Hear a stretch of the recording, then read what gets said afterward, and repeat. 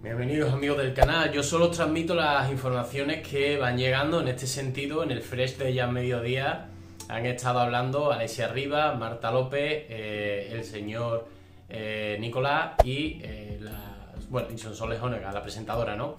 Bueno, estaban hablando de Olga y de, bueno, el disparate de cantidades que podría llegar a ganar en unas negociaciones que, según Nicolás, estarían bastante avanzadas. Aunque Marta lo niega, niega que vaya a hablar, pero no niega que se le hayan ofrecido, eso sí es cierto, que se le haya ofrecido dinero y que se le haya ofrecido entrevistas.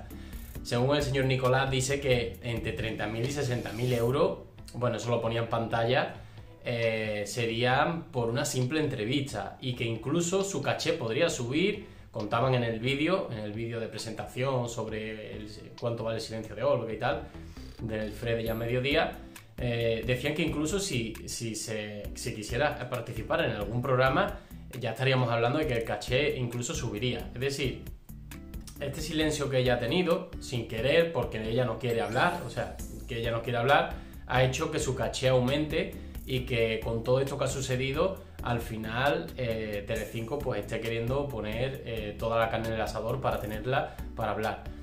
Ahí ya hay, cojo con pinza lo que dice Nicolás, de que esté casi casi hecho, no, no lo sé. sinceramente yo no la veo. No digo que no que dentro de un mes a lo mejor esté sentada, como dice Marta, pero a día de hoy yo no la veo, dudo mucho.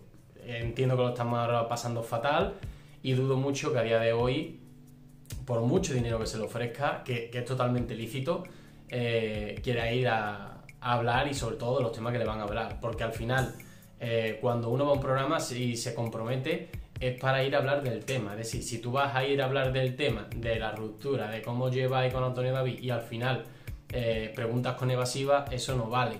Tienes que mojarte un poquito.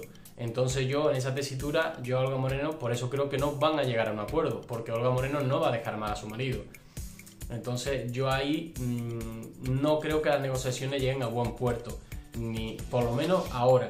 Y dentro de varios meses tampoco, insisto, si al final lo que se pretende con esta entrevista es dejar mal a Antonio David, no lo, no lo va a dejar mal. Al menos esa es mi visión. Solo transmito lo que dice el Fresh, que ellos dicen que está, mm, han estado muy avanzadas y que no han llegado a un punto de acuerdo, pero que las negociaciones han estado muy avanzadas. No sé vosotros qué pensáis, me gustaría que dejaseis vuestro comentario, como siempre respetuoso, como ya sabéis, nos vemos en el siguiente vídeo. Un saludo.